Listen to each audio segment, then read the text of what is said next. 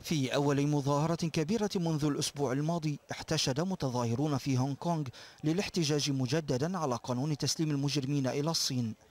وتجمع المتظاهرون أمام محطة السكك الحديدية عالية السرعة حيث سلموا رسائل احتجاج إلى المسافرين. محطة السكك الحديدية عالية السرعة هي صلة بين هونغ كونغ والصين وهذا هو أقرب مكان يمكننا فيه نقل رسالتنا إلى الصين.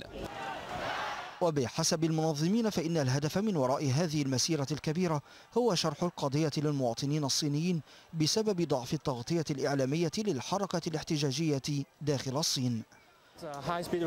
نحتاج إلى مواصلة الضغط على الحكومة لإلغاء مشروع قانون التسليم. ثانيا نريد أن نظهر احتجاجنا السلمي لزوار البر الرئيسي لأن الصين منعت الإعلام ونحن نريد أن نظهر لهم حقيقة ما يحدث. ولمنع المتظاهرين من الوصول إلى محطة القطارات فائقة السرعة. وضعت الشرطة حواجز لفصل المنطقة التي يوجد فيها السائحون الصينيون عن المظاهرة. وتشهد هونغ كونغ منذ الشهر الماضي مسيرات حاشدة احتجاجا على مشروع قانون يسمح بتسليم مطلوبين إلى الصين والذي أثار مخاوف واسعة بشأن حقوق الإنسان في ظل حكم الصين.